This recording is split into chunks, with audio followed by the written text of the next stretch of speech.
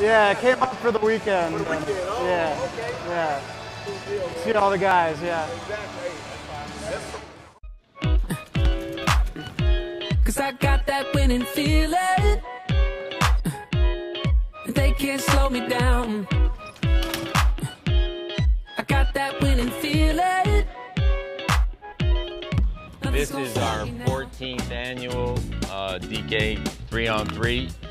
40, 50 athletes are all coming together throughout the course of two days, and we're just kind of battling against each other, three on three style. You know, there's veterans, there's there's gold medalists, there's Paralympians, and I love that format just because you wouldn't necessarily play with some of those people all the time. Just, you step out of the, the normal five on five and uh, just have fun with it.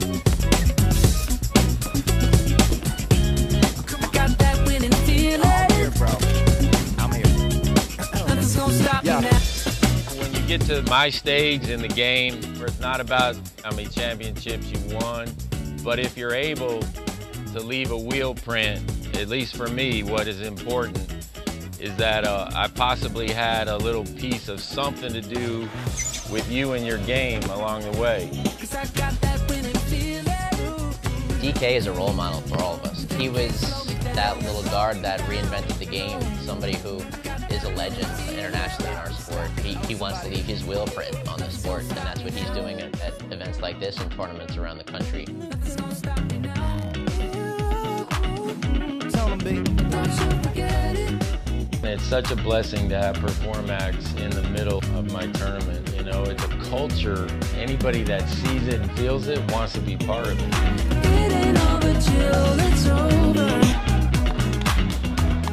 Getting over till it's. It's an honor being invited to this and just kind of seeing there's so much talent. I hope that I'm invited back. The idea of growing this into a, a more of a national experience is something I would really be behind. Now that we're looking at men and women gold medalists here in the United States, kids have a legitimate vehicle to dream about being a wheelchair basketball player. Not about being Michael Jordan or Kevin Durant. Now you can dream about being a Steve Serio or Matt Scott or a Becca Murray, and that could be you. Nothing's gonna stop me now.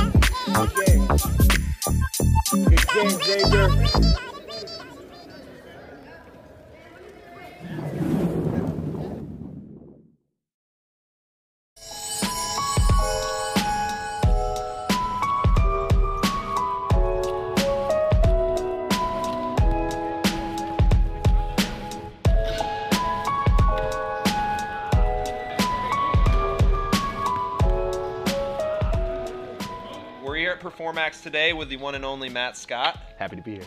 Yeah, well, thank you so much for making the trip to Dallas. This is my first trip to, to the Per4max headquarters, so I had never actually seen what it takes for it to go from like a small couple bars to a gold medal chair. Yeah, finished product. It's been amazing and um, a cool experience to see a finished product and what it starts from.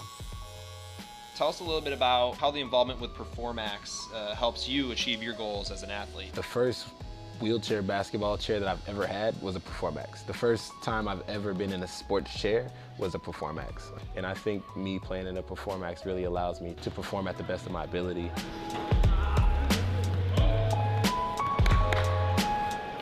Let's talk about the U.S. Paralympic team a little bit. So you're a defending gold medalist. That's right. Uh, can you talk about your journey to that get that gold? It was quite the drought that we were on. I was uh, part of the team in 04, in 08, um, in 2012 that wasn't able to bring home the gold. Um, so to finally make our way up to, to the top of the mountain and um, show the world what we're truly capable of was just, I mean, it, it took a lot.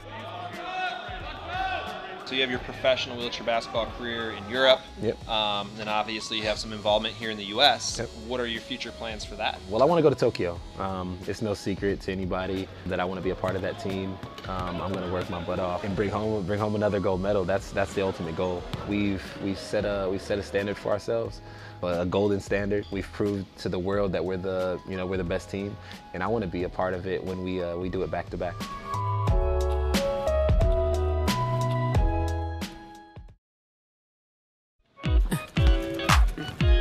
Cause I got that winning feeling. They can't slow me down. I got that winning feeling.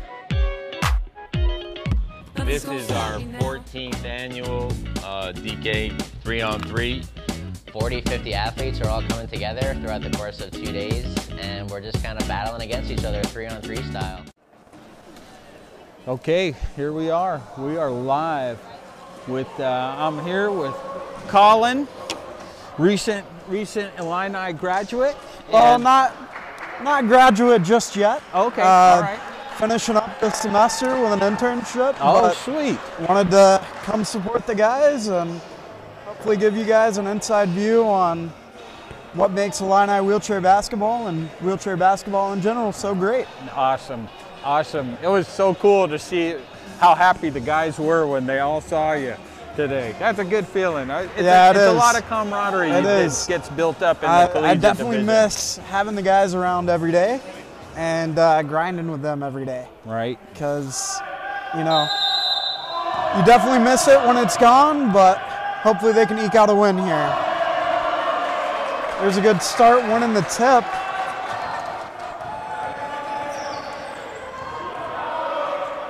Noah's gonna let it go from three, right from Wow. the get-go. Wow, okay. And we're gonna like that. All right, and we're right We'll see that one again. One of those proud dad moments, you know. Yeah, that shot was real nice. Let it go, and We needed some of those earlier today. oh yeah, most definitely.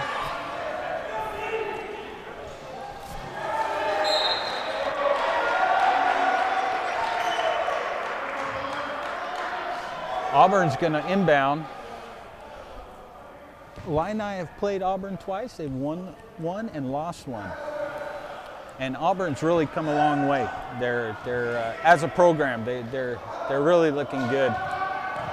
They're Yeah, like four years ago, I think we put our bench in to start the game, right. just so it'd be close.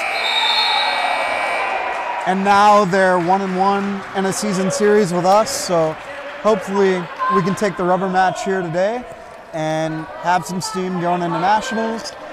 And that's a really good defensive possession to start the game for us.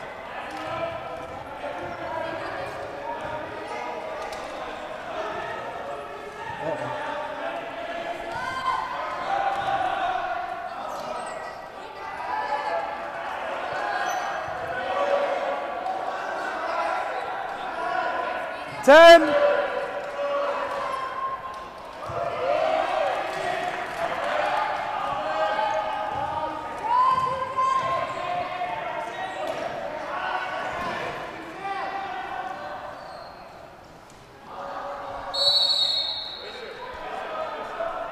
It's going to be a jump ball. Yeah, and the Illini have been really hard on the pressure for Auburn to get the ball over half. They almost forced a 10 second violation right there and almost got a turnover. And the shot clock's now at 15. Yeah, so Auburn's got some work to do if they want to put some points on the board this possession. Good box out by Noah, and we will see if we can capitalize.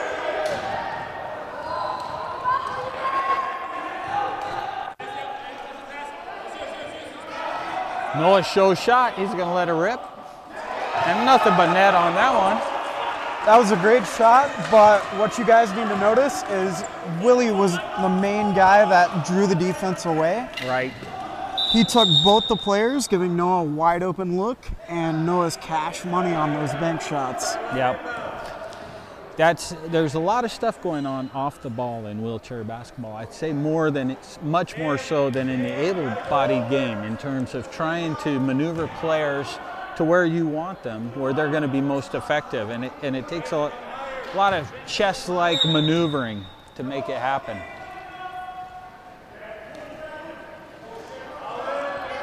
Again, they're in the backcourt. They get it across.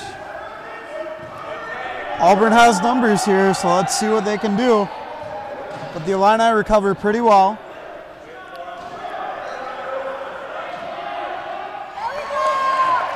And a nice shot off the backboard. Auburn on the board. Yeah, Sam Armis is known to do that. The defense wasn't as good as it could have been, but still not a bad defensive possession, and it looked a lot better than it did this morning. Yeah. I think Noah's three for four right now. Maybe he's three for three. He's on fire. More constant pressure Uh-oh. from the Illini and a turnover. Miles Oh, Hill God, goes in God, for the God. layup and the foul from looks like Fisher wrist. So Miles will go to the line. Pretty Got good the- shooter. I, I, I forgot to switch the cameras, so they, they got to see a good 35 seconds of the ref's butt. Oh, nice. You know, that's what that's what we're about. That's what we're about. I mean, we're not a professional broadcast, so We're, we're not. We're not. That's why we're on Facebook Live. You get the, you get what you pay for, free broadcast, and yeah. So Miles to make it two for two. All day.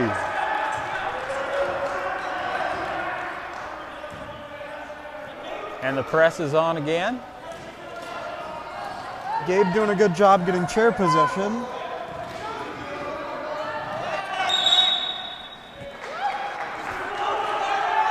And it'll be Illini ball.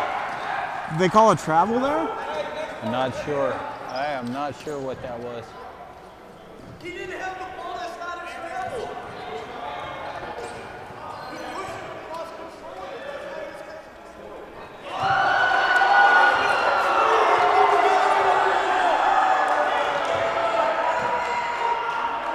And Well, those uh, those carne asada tacos for lunch must have really did the trick.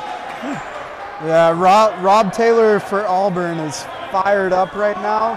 He really wants this game for his guys, but it, Noah is making that a hard sell for Auburn. And Illini have a 10 point lead. Nice cut, Noah. Oh, it's there.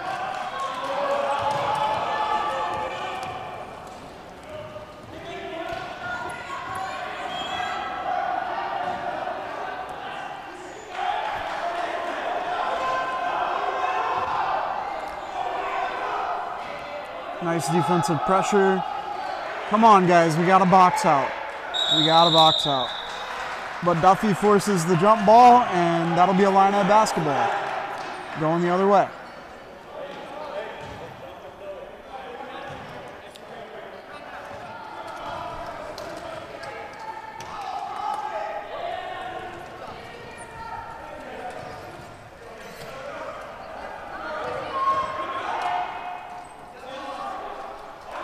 Duffy. Oh, nice screen and roll by Gabe. Duffy looking at the basket, showing shot is what set Gabe up for that roll.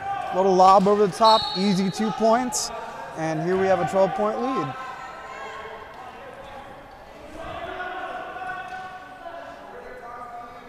You know, one thing that, that I noticed uh, with, with the Illini, and, and I'm sure it's true for most college teams, is that January, February period of time is it's it's a real slog.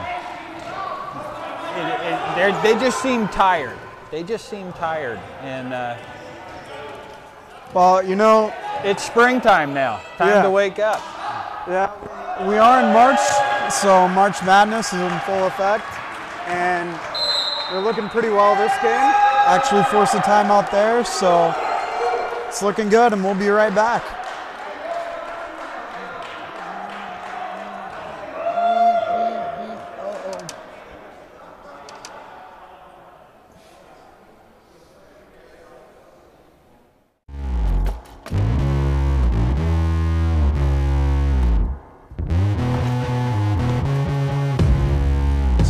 Yourself with guys who are going through the same struggle as you, you kind of feel that camaraderie and family that you had in the military.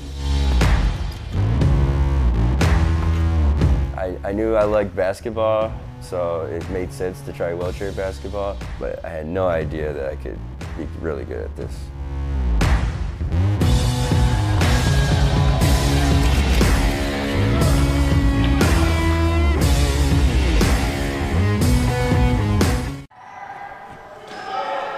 And maybe back. Auburn will have a chance here. They really moved forward with some speed there, and and and I'm sure that I'm sure that the timeout was all about breaking that press, trying to Oh, get yeah. down with a little bit more time on the clock. Well, with the talent that the Illini have, that press has been kind of unbeatable for a lot of teams in the division. true. That's true. This morning we didn't quite see that, and we got to make adjustments for UTA, but it's working and doing everything it needs to do. And it's setting Duffy up for good offside looks like that. Um, the Illini are certainly lucky to have Duffy because he's always been amazing from that spot. He's he's just he never he never gets flustered. Yeah. Hit or miss, he's the same, and that's that's that's what it takes to be a pro. You just get up and you keep going to work. Well, that's Coach Buchi's big thing around the program. Um, hashtag show up is what he's been saying a lot. Right. And you can definitely tell the guys, even though they didn't play well this morning, are coming out with a mentality that they're going to take no prisoners and make sure everything goes according to plan as Willie gets the end one opportunity or the foul opportunity. And we'll see if the Illini can capitalize and make it four for four for more.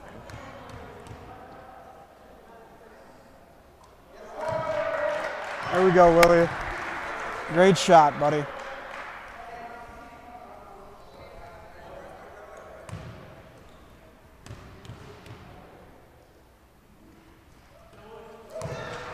And the Illini are now four for four, and that press has come back in full force. So we'll see how Auburn wants to play it, see what they changed in the timeout. So now they're looking for the cross to be strong. And you notice they're not putting anybody on the inbounder. They're double teaming on the receiver. Well, I think they want the inbounder to handle the ball. Right. For the most part, because with his classification, he's typically the least functional person out there Right. for Auburn right now. So if you can force the ball into those people's hands, there's more likelihood of them making a mistake. And we see another mistake and another turnover for Auburn as the Illini will come back, um, bringing the ball up with Noah.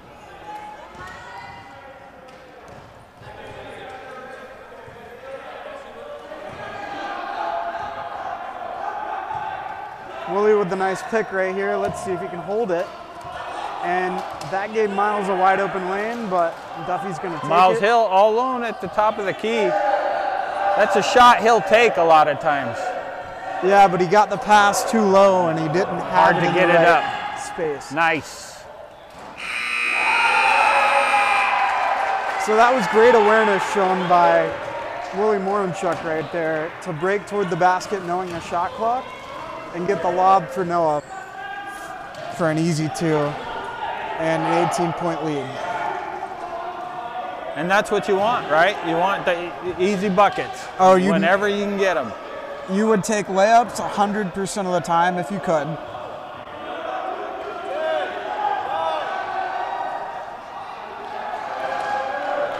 Oh, geez, Gabe.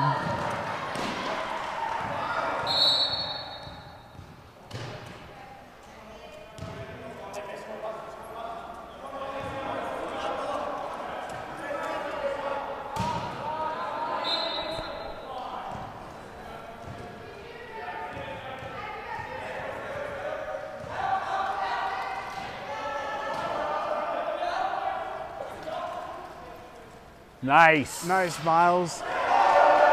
And Miles is just really getting strong right under the basket. Oh, yeah. That's been one of the biggest improvements in the Illini game this year is Miles Hill just powering in. And he's not the biggest guy, but he keep, keeps his composure in there. And he's strong. A lot of the time, even though Miles isn't big, he's got the strength and the body Yeah. to go up into contact, Right. let people foul him, Yep. and get those points at the line for the Illini. Yep. And he's been a great free throw shooter as well. I think he's two for two today, right? Oh yeah, he's two for two and Willie's two for two. So Right on. the Illini can keep it perfect if they go back to the line.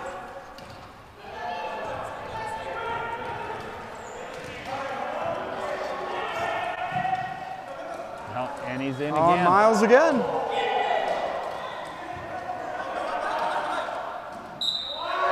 See, that's exactly what I'm talking Yep. about, going through the contact That was right perfect. there. Miles, You are a prophet, Colin. I don't You called it. I mean, that was only like 35 seconds before, and that was a perfect example. Well, I mean, when you see the guys every day in practice, You kind of know. you you kind of know what they're gonna do. As Miles stays perfect from the line, let's see if he can make it four for four.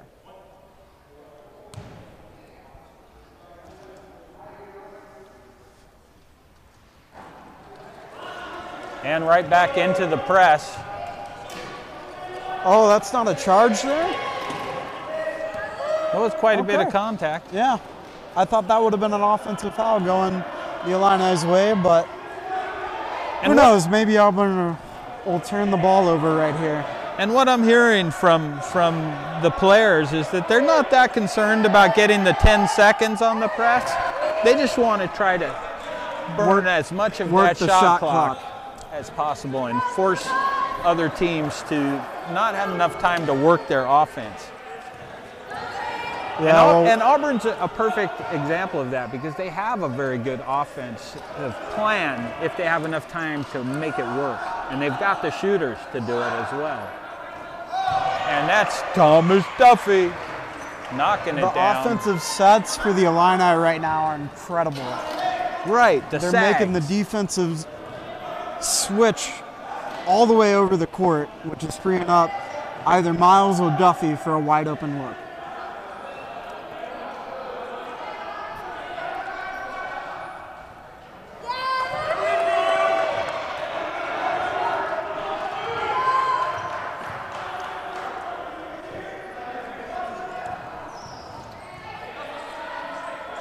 Okay, Noah. That's there. Still hard on the press. Really? Okay. All right. Well, I think you know if if they, if they're not going to jump it, then you got to shoot it, and that's that's what you hit a couple of them, and then that's what opens up that Oh, yeah. space, right, for Willie to use his speed and take advantage of the inside. Well, anybody in the college division these days can knock down a 15 footer Right, if you give them room. right.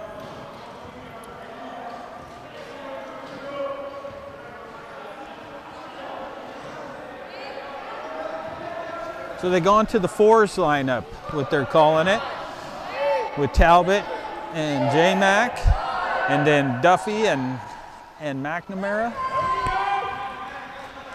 It's a it's a, s- a lot of speed, a lot of speed again on this lineup as Oh well. yeah, this lineup is probably one of our fastest.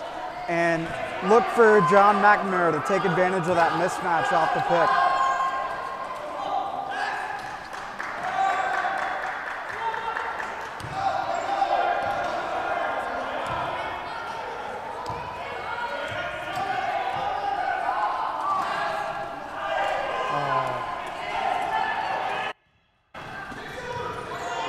There's that speed right there. I mean, Oh yeah, three of them right on him. as Duffy With gets called for the block. It's okay. We'll take it. That was two points they didn't need to have. Yeah. Although I don't even really think that was a block on Thomas. Right. To be completely honest. but- Everybody's moving pretty fast in that situation. Yeah.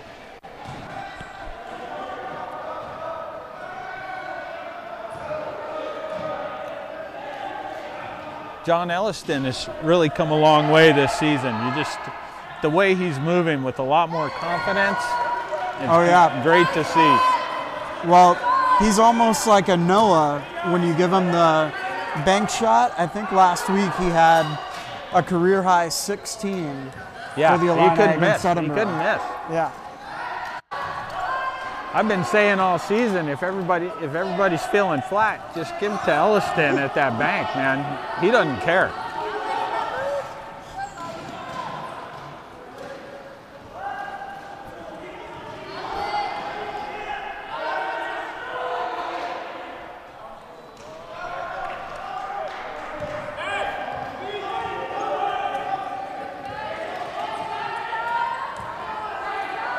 Oh, Talbot straight to the basket.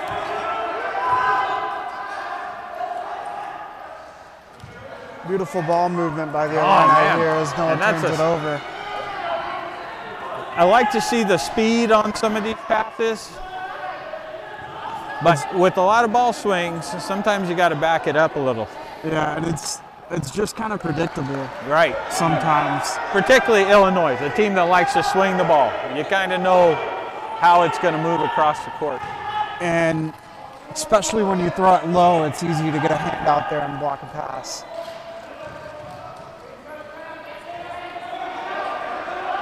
Look at J-Mac, man.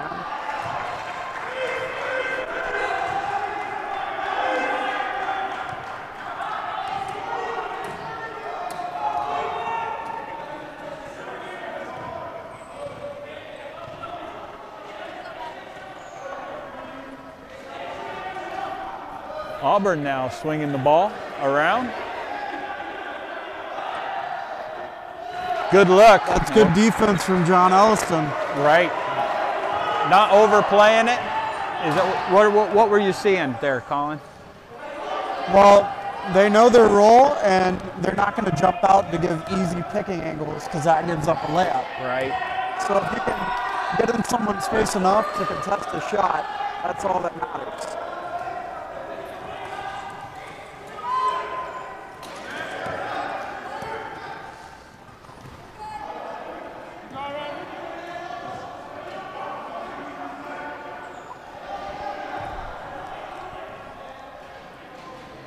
Armis now to swing. And it,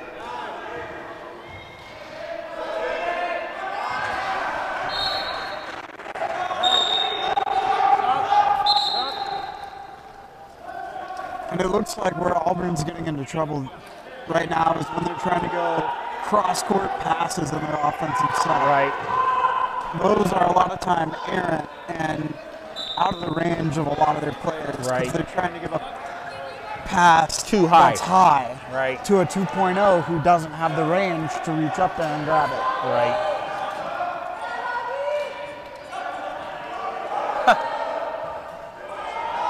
Again. Nice offensive rebound from J-Mac right there.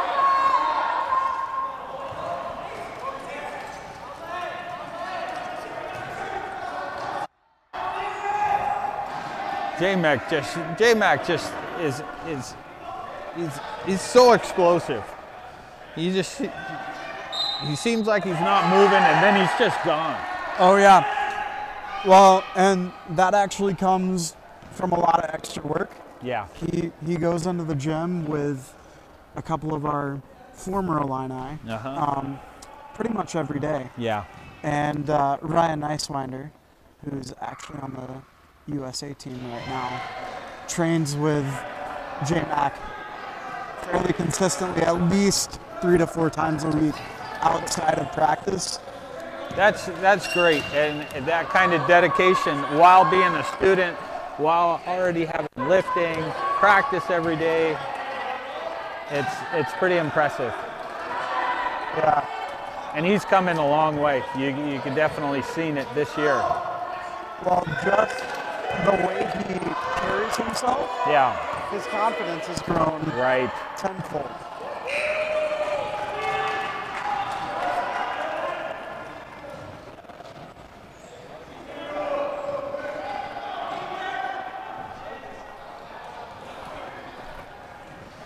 Already down to 16 on the shot clock before they can get their first pass off.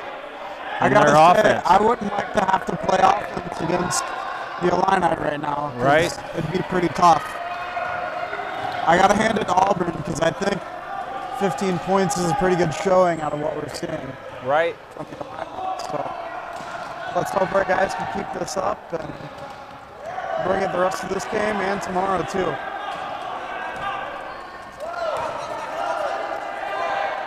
Oh, nice, Noah. That was a beautiful read and communication from Noah and Talbot right there.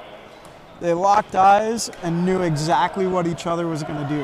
That comes from hours in the gym, working with each other and knowing exactly where your teammate's going to be. Locked eyes. I love it. I love it. It is a beautiful game. It's a beautiful sport. It is. Much better than the able-bodied game, in my opinion. I, I you know, I, that's where I'm at at this point. I, I, I, I will watch um, some able-bodied ball and I'll enjoy it, but to me, there's.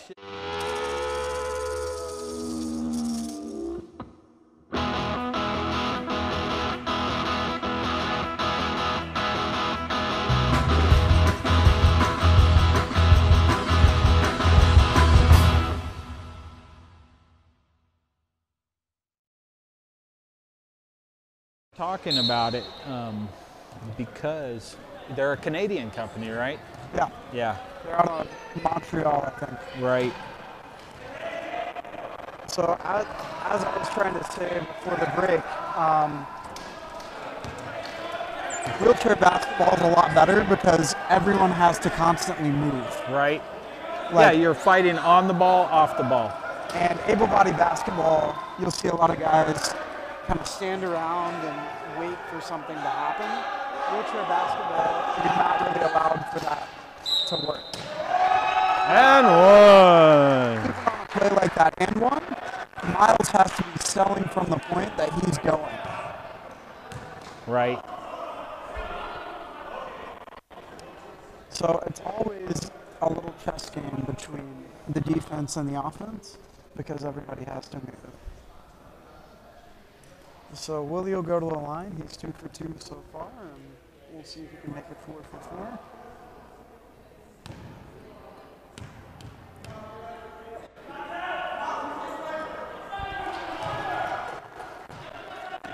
And Willie is perfect on the line press again. It's just relentless. And it looks like Auburn's going to have about 15 seconds to play with when they finally get set up.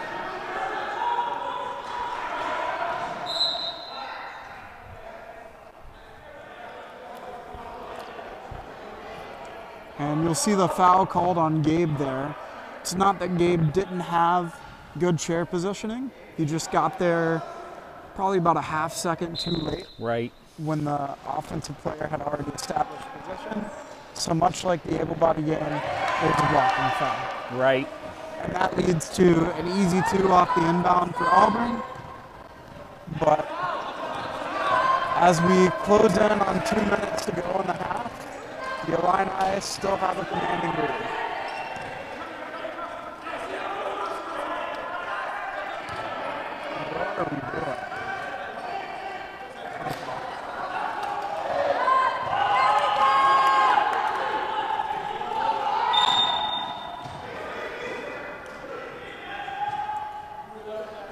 And that's probably a smart play by Gabe right there to go ahead and foul because Auburn had numbers coming down and that you can't give wide open laps to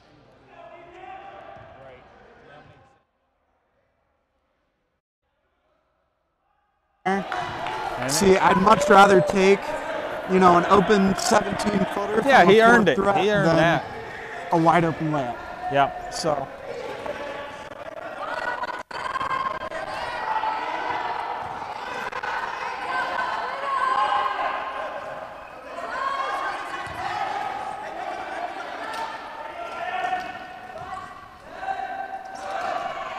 Here we go, Willie. Nice screen and roll. Again with the screen and roll. That's probably the fourth one we've had today. Him that and leads to an easy kick and roll layup. Noah and Willie have really um, seemed to find find a, a, a connection. Both Noah and Willie and Noah and Talbot. And even though both Willie and Talbot are great shooters, um, they're also very effective and strong on the inside and able to get that pick and roll. You put Noah on the inside on the screen, he just doesn't have the core to get up Oh, and yeah. get in there. And so, for some reason, and it's always been that way, everybody always jumps Noah, no matter what. And so those big guys are going to go in. Even if he's missing everything, they keep jumping him. It's just been the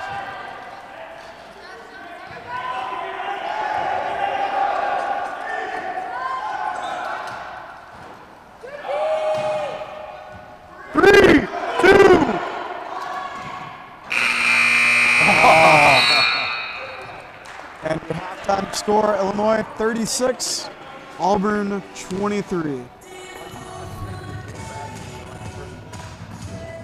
Yeah. Well, not right this second. The pick and roll is one of the main ways that you'll see scoring happen in wheelchair basketball. Um, there's a couple different things to think about when we're looking at the pick and roll. Um, one, a lot of times we'll use the pick and roll, um, and you'll see teams get a wide open layup off of it um, because you've picked, a defender is out, and there's a free lane to the basket where you can roll.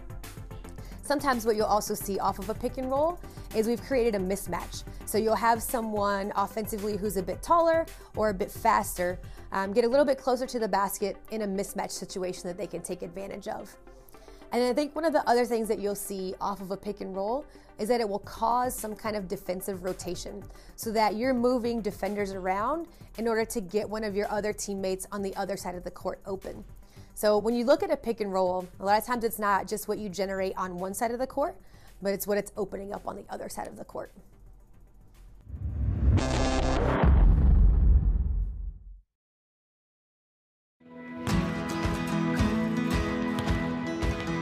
For me, what is important is that I possibly had a little piece of something to do with you and your game along the way.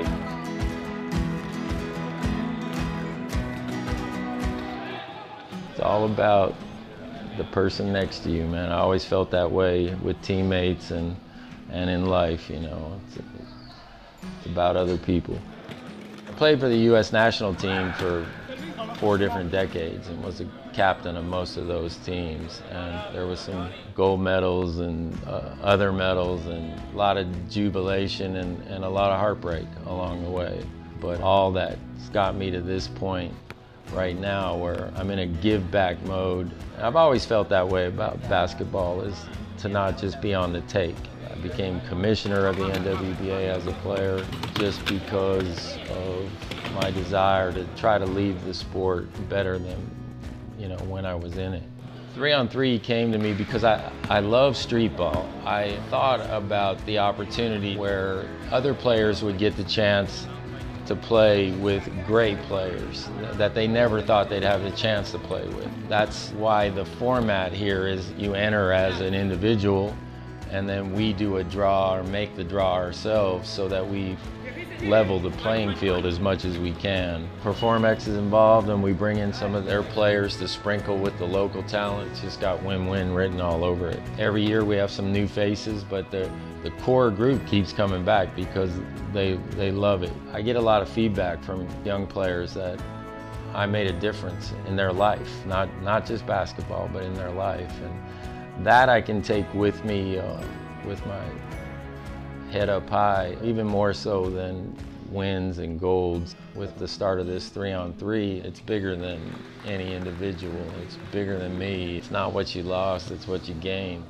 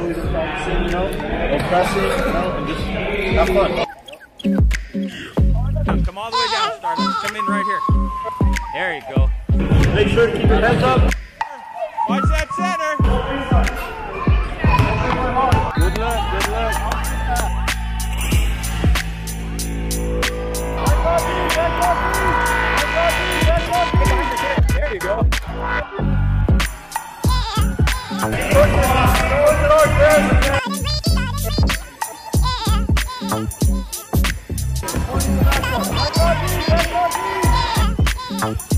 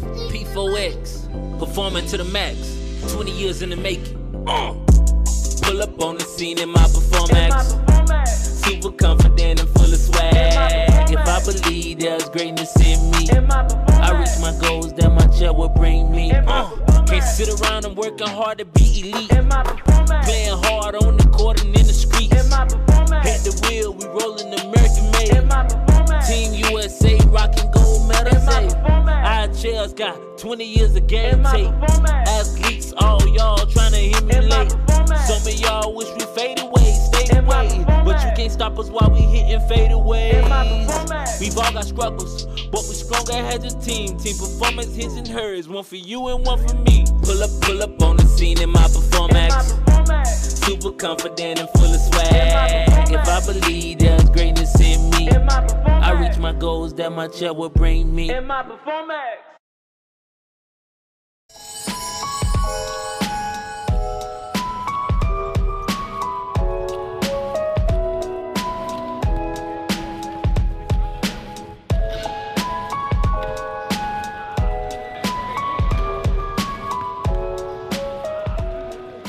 We're here at Per4max today with the one and only Matt Scott. Happy to be here.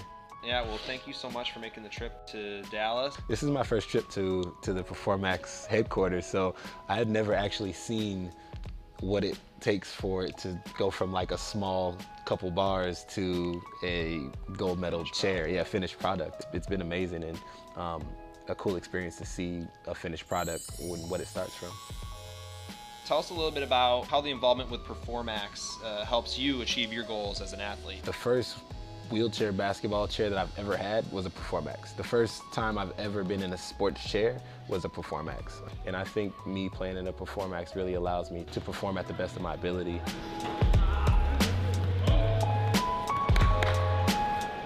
Let's talk about the U.S. Paralympic team a little bit. So you're a defending gold medalist. That's right. Uh, can you talk about your journey to that get that gold? It was quite the drought that we were on. I was uh, part of the team in 04, in 08, um, in 2012 that wasn't able to bring home the gold. Um, so to finally make our way up to, to the top of the mountain and um, show the world what we're truly capable of was just, I mean, it, it took a lot. So you have your professional wheelchair basketball career in Europe. Yep. Um, then obviously you have some involvement here in the U.S. What are your future plans for that? Well, I want to go to Tokyo. Um, it's no secret to anybody that I want to be a part of that team. Um, I'm going to work my butt off and bring home bring home another gold medal. That's that's the ultimate goal. We've we've set a we set a standard for ourselves, a golden standard. We've proved to the world that we're the you know we're the best team, and I want to be a part of it when we uh, we do it back to back.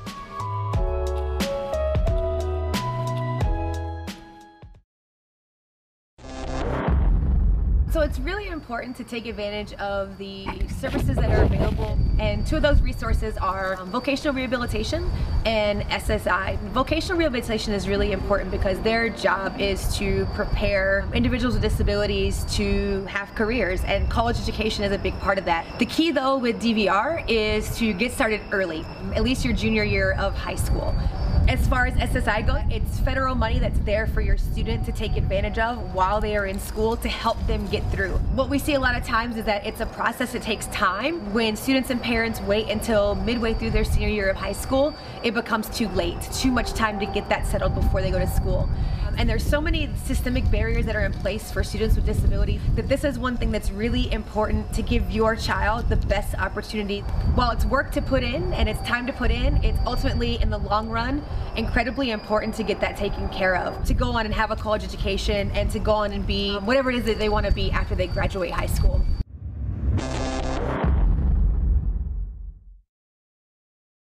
NBC University. Ah, right, right. And we're, and we're back. Myself and the one and only Colin Turtle Fletcher. And the Illini have looked good so far this game. We'll see if they can keep their 13 point lead as we head into the second half. Oh, finds a nice little dump on the inside, but can't hold on to it. That was quick hands by Willie coming up with the steal, and we'll see if the Illini are able to capitalize and get Oh, Willie's right down 15. that big hole they left. Sometimes you get you get kind of lulled into the Illini offense. Yeah. And you forget that, that someone like Willie can just turn it on when he needs to. Well, that's how a lot of foul and free throw opportunities happen for us because selective speed and use of that is great from guys like Willie and J-Mac. We're back to what they what the Illini like to refer to as the old school lineup right here. This was the go-to lineup for most of last season and and And the year before, And the I year think. before. Uh, Yeah. no, well, Willie wasn't here. Willie wasn't there, but They they had similar roles. yeah, Yeah. and similar classifications too. Yes, that's right. It's it's a solid line and probably the most disciplined line, right? Yeah, well, when you have somebody like Dago, who is a fourth year senior, who I think is taking a fifth year next year, right? But out there on the floor to help direct these younger guys, Yeah. especially on defense, to Right. not have to worry about one of your five guys, Right. that's so huge in wheelchair basketball. Yep, and and he always makes the right call. Well, not always. Okay, There's never right. always. Okay. But I like, tried, Dago. I tried. 98% This is me to you, hermano, Sabrino. but Turtle wasn't having it.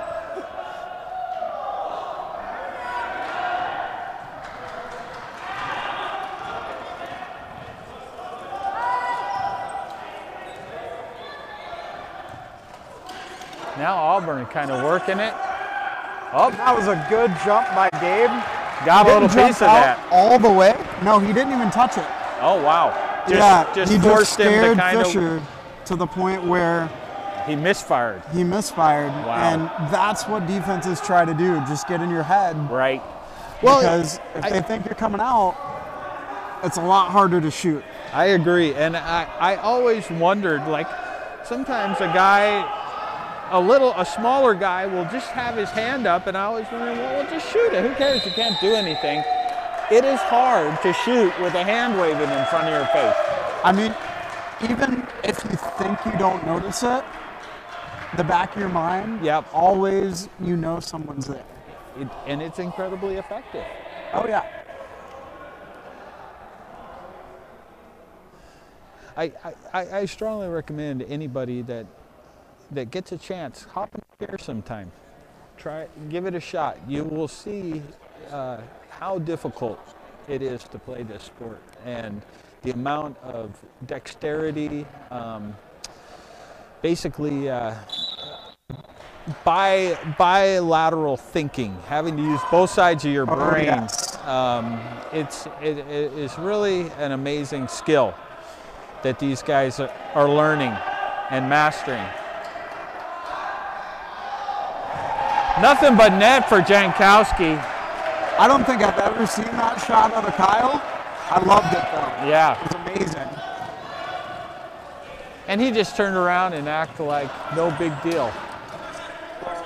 What you have to do in this sport. Right. So. You gotta be ready for the next. As It's going to be on Gabe. I think that's Gabe's Third, I believe so. So he only has two to play with, and we'll He's been what- playing nice and aggressive. I know.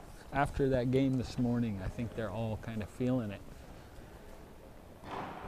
And realizing with Wichita coming up, they're they're going to have to be ag- aggressive if they want to win it all.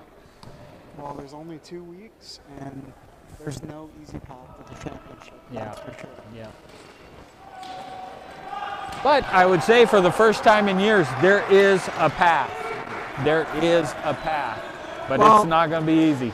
Well, there's always a path. That's That's right. That's why you play the game. Right, right.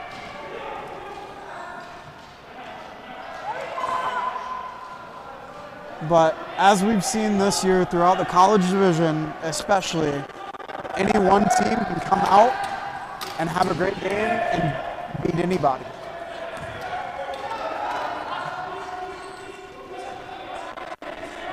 Yeah, there is a ton of parity in the college division this year. You know, outside of UTA, who has has remained pretty dominant um, in the second place spot, teams have been winning and losing to each other in really unpredictable ways. Well, we saw Whitewater go down to Missouri for like the first time in what two or three years last week. Right. And not and not just go down, but got, but they really got beat. There was there was no there was no uh, mitigating factor there, and um, U of A also um, beaten by uh, Missouri. Illinois beaten Missouri twice. Um, it's just all over the map where where these games, who's winning and who's beating who. And I'm excited to see Alabama because we haven't seen them since the very first game of the season tomorrow, and see where they're where, what they're looking like right now after a season of basketball. And you know Alabama's going to have this place rocking tomorrow afternoon. I bet. I bet. They have this nice, pretty much brand new arena for all the teams to play in, which has kind of set the standard for wheelchair basketball and wheelchair athletic schools around the country. And that's what it takes sometimes. It, it takes it takes uh, it takes a college to throw down the gauntlet, and all of a sudden you get a dean at Illinois or a dean at UTA that sees this place and goes, why don't we have that for our athletes? And, and you know, some alumni get together. We hope, we hope in a couple of years we'll be announcing a new facility too. the somewhere Colin down the line. Fletcher, the Colin Fletcher Colin Adaptive Athletics Gymnasium. No, we should just call it the Frogley Gymnasium. The turtle, the frog and the turtle. No. or uh, name it after Dr. Nugent. Well, great you- pioneer of the sport. That is, that is very generous of you. After donating all of that money to to All of- request that it be named after All of some of these money- legends is a good idea. All of that money, when I make an intern salary, as Noah continues to stay on fire and drain three pointers, the Illini have now stretched the lead to 18 Uh-oh, uh-oh. and show no signs of slowing down.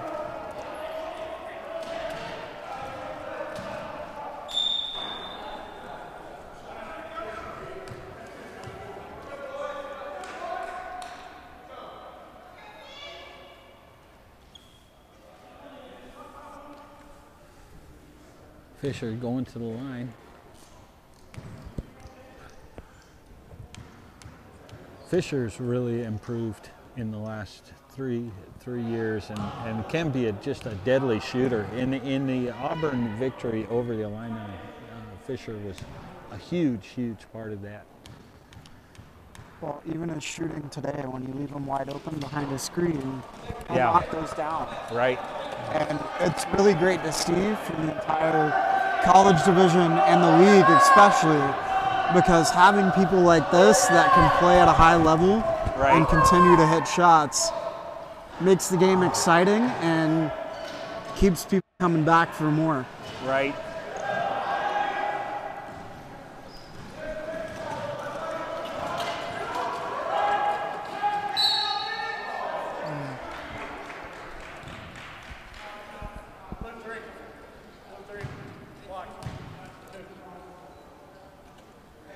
So the way Auburn set that up was really good off the ball movement with crossing and transition.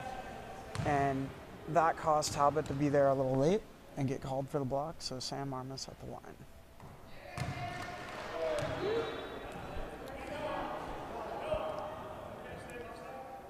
Wheelchair basketball is pretty much all about angles and anything you can do to cross another person out because there's no lateral movement and the game just gets so much more difficult when you're not able to move on a horizontal plane to guard someone. Right. And so, uh, are you saying that the angles, in order to get forward movement without lateral movement, it has to be at an angle? Pretty much. Okay. All right. Especially on defense, you'll Right. see a lot of guys play at a 45 degree angle like Duffy right here. Right. He's not going to go straight foot plate because that'll give up position and someone will be able to drive around him. Right. But if he plays at a 45, he's able to turn either direction. Right. And And cut the maintain momentum. on- Yes, for maintain his turn momentum. into his push. for his turn and cut people off. And starting and stopping in wheelchair basketball, especially for low class players, Right. is extremely hard. Right.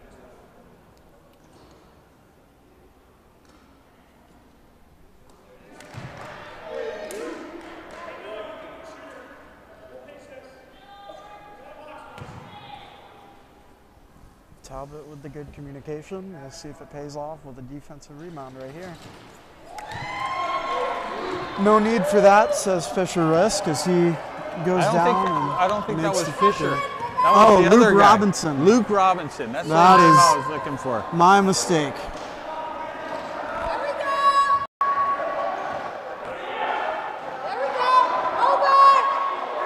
Oh no, take the layup. Oh, oh it's right there.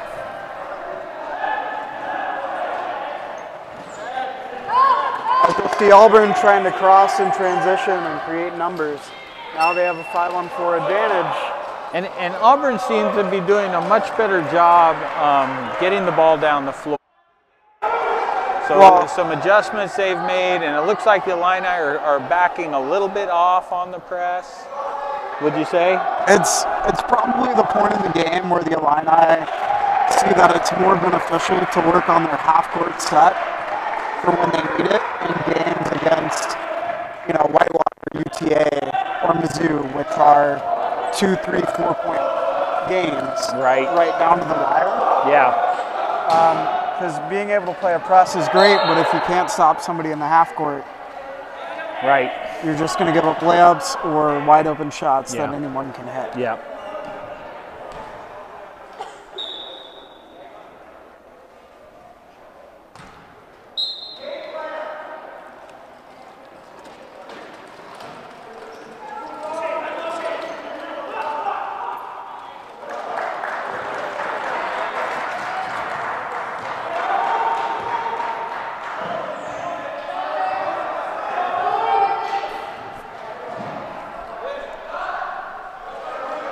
What they want, right? They want that jump, open up some space. But Auburn doing a really good job defensively right there. Making the switch, even when they were jumping all the way out of the three-point line, they worked together well to prevent that that picker from rolling in. Well, that's why you have to practice this game every day because it seems flawless when people do it here and easy to do, but that takes years of communication and trust with all your different teammates. Right. Yep, that makes a lot of sense.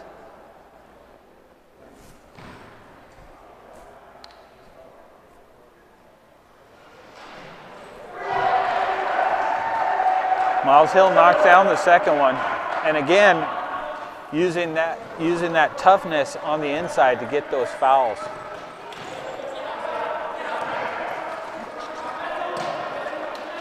She's going to lay it up. And she can be quite a shooter as well. Oh, yeah, she can. Noah kind of got her out of her rhythm there from faking from low, Right. which caused the miss last second. Okay. Just a, the little twitch. Little twitch. It always gets in the back of your mind.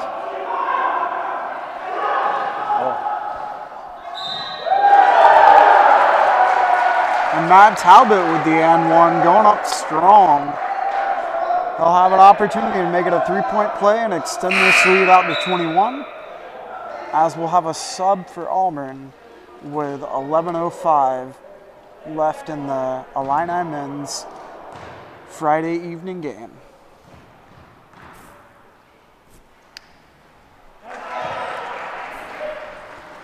Talbot getting the three.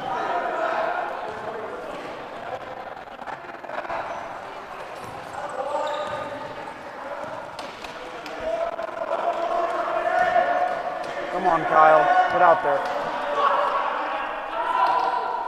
Oh, rolls around and rolls on in. And that was a great job by the shooter from Auburn in using what the defense gave her. Right. Because Noah wasn't able to go out to her without giving up a lane for a wide open layup. As Noah comes back with the answer, but it's a constant back and forth in what teams are willing to give you and just making sure you're willing to capitalize Right. whenever the opportunity is right. Yeah, that's right. You, you'll let them take this shot instead of that shot. And a lot of teams, as they game plan, especially in college, will talk about scenarios they're okay with giving up. I know we don't see it primarily in the juniors game, but at higher level games like college and international, we see teams willing to part with a fifth threat, low point classification, taking, you know, a semi-contested shot Right. over a big man shooting over someone. Right. From two feet. Yeah. So it's that constant give and take and just kind of chess game and making sure that you have the upper hand on your opponent. Mm-hmm. Game of percentages. Yes.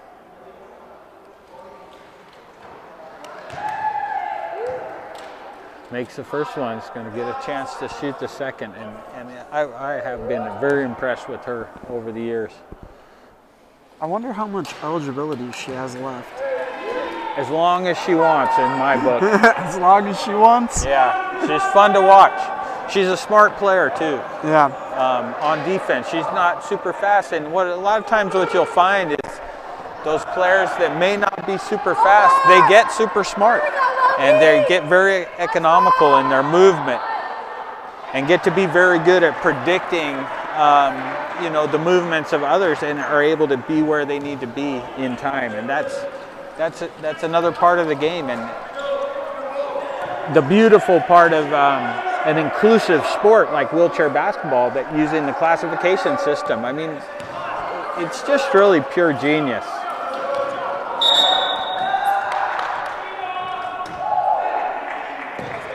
You're good, Noah.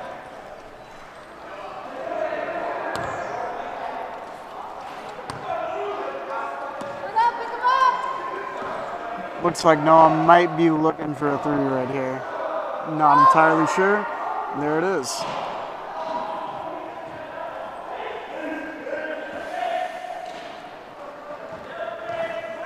Yeah, back to what you were saying about the classification system though. The great part about wheelchair basketball is putting together a puzzle Right. with every lineup Right. and kind of recreating that whenever you need to change or seeing how you would play different teams. Like the old school lineup that we brought in earlier, or that the Illini brought in earlier, might be better suited to teams like Auburn, whereas the starting lineup is one that can run with another team. Right. It's all about how you can maximize that 14 points throughout your five players.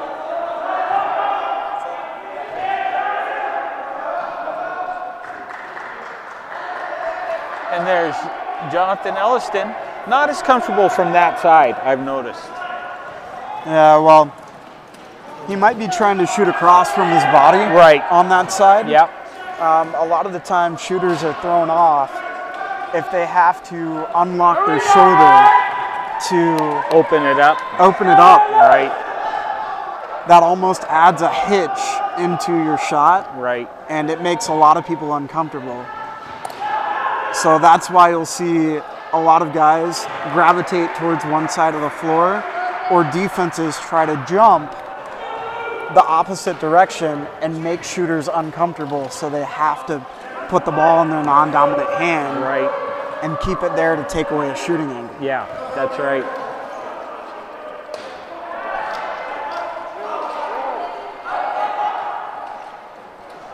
Get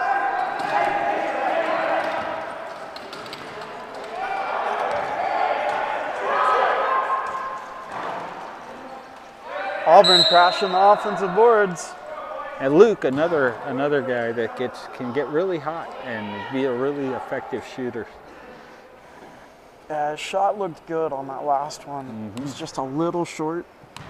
Probably t- and being tired in wheelchair basketball can translate, you know, an air ball to a nothing but net swish. Yeah. Because what a lot of people don't understand is it's really hard to shoot from a wheelchair. And these guys make it look super easy. Um, so Armis with his second free throw here. And that's just automatic for a player like him. Right.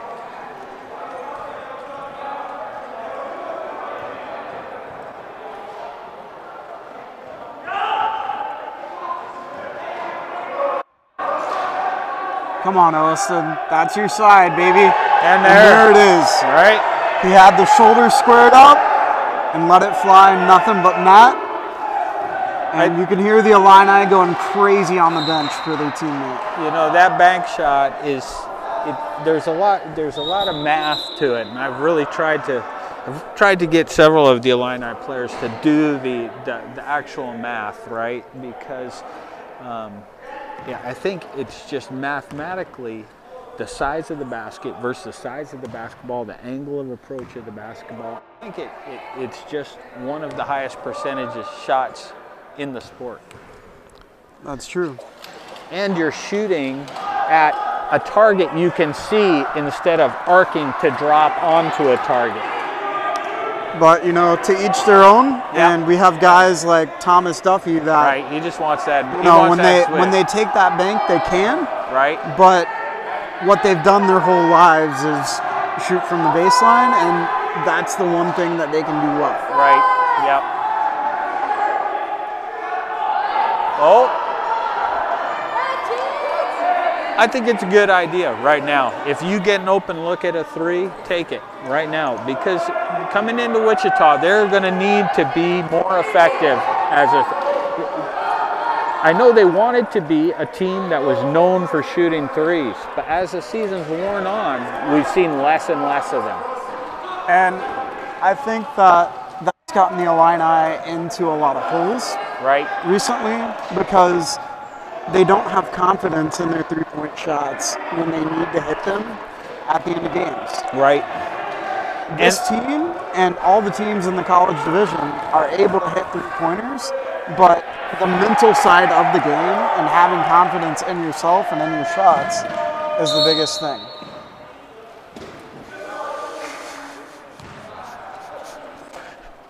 I was trying to give him the, you know, victorious after basket shot. Yeah. I think I just tripped him up. Caught him. I Yeah, thought they that- were going to call I- a I- foul on for that one. Yeah, I totally agree though. I think, I mean, we got a lot of players. You saw early in the season, you saw Thomas Duffy just lighten it up from the point. And, and it's been a while. And we, we, we spoke in between the games, and, and, and he recognizes it. Um, so when, you, when you're up by 19, 20, and you get an open look, and you are a player that can shoot it, shoot it. Just get comfortable with it, with your muscles tired, game tired. Yeah, but a lot of players have that in their minds and they can shoot it, but it's a lot different when they try to shoot in a close game. Right, sure. Yep. Yeah, no, absolutely. Practice now. Practice now. Yeah. And, and, and, and the dynamic definitely does change in a close game. But hopefully, players on both teams will be able to draw from games like this when they get into those moments where, right. you know, it's the last two minutes of the game, have no fouls to burn, and you need to put up a three. You have confidence in yourself, and even if you miss, you trust that you can make it. All right, let's give him a good. There we Oh go. That's what. I'm talking about. Some redeeming, some redeeming close-up victory shot there.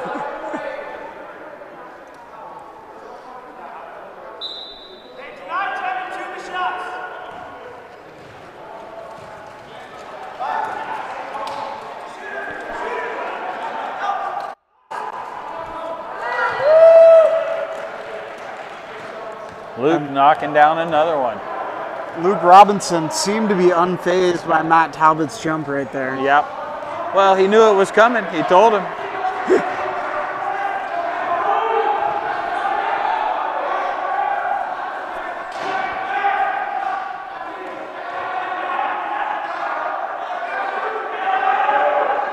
That's Kyle's bank right there.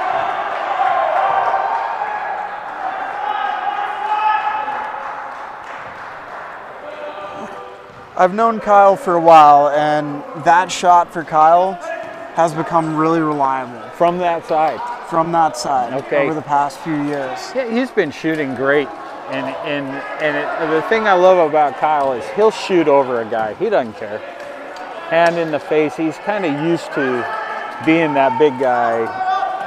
Well, the advantage that Kyle has is his chair setup, his legs are out so much it further keeps him from his body. Ah, that's so it gives him A little know, a extra six, buffer? eight inch buffer Okay. from anybody that's trying to guard him in the front. Right. You almost have a better chance at guarding someone like Kyle from the back. Right. If you're trying to contest right, the ball. Right. And when you guard from the back, oftentimes you're going to get called for a foul. And now as it's Matt, Matt Talbot. just lights it up from three. That's what we were just talking about that again. Somehow I feel like Turtle, you and I are actually threading the fabric of reality together right now. Maybe, maybe.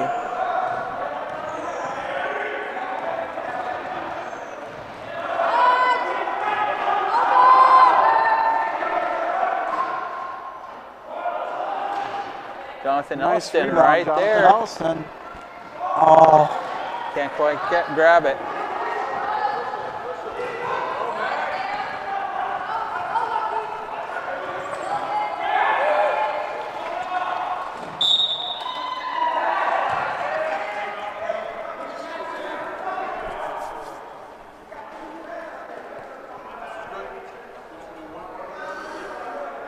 I, I- I really need to experiment with this. Um, th- there's apparently on, in the Switch Sling Studio application, there is the opportunity to do vocal commands where I can say switch. Really? Yeah, instead of having to rely on like this, I'm both watching the game, watching the game two seconds ago, which is what we see on our monitor, and watching the other camera. Well, I think everybody should be thankful that we're able to provide a stream um, as high quality as we do right now because I know before you got here, um, like my freshman year of college in 2016, 2017, right? we didn't have a stream like this. Yeah. Well, and what I like is that everybody's getting it now. Everybody's getting it, and you know, I I, I take a small amount of credit, but you know, I always give it directly to to my buddy Jeremy Shack at UTA, who Yeah. who just decided he Oh, was yeah. gonna do it, and and that's what it took. Was because I was like, okay, he's doing it. How can I do it? And then everybody else is kind of, you know, you even got you even got the NWBA uh, officers walking around with iPads, live streaming stuff. It's just it's just awesome. And it's especially great to see heading into a Paralympic year, garnering excitement for the sport of wheelchair basketball and just Matt Talbot, I just I feel like I could general. just run that shot, that this little clip right here on replay, and we, we would see a good portion of the game. Yeah. Just killing it. Yeah, I think he has. Oh, and there goes Josh 15 Joins. points. Josh Joins and Sam Arm, former teammates. teammates. Josh racing down the court, and. Josh coming out with it this time. I know that made uh, Jason Jones happy. And Josh with the Coming- assist to Thomas Duffy. Coming out with two.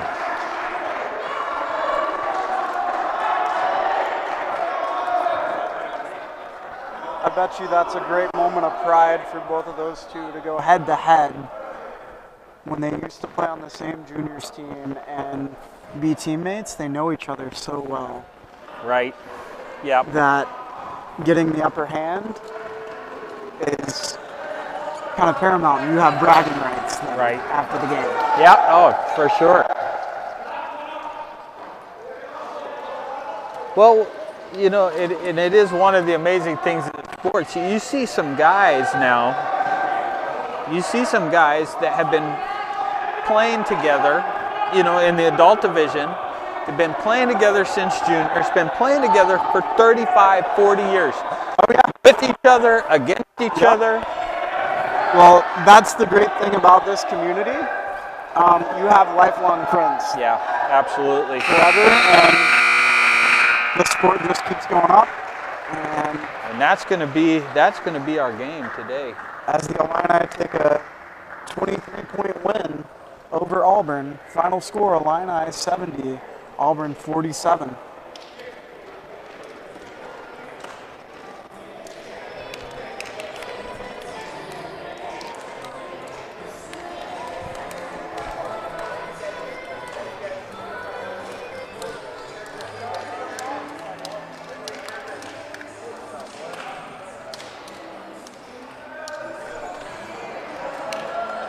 Well, Turtle, I, this is fun. We're going to have to do some more of this.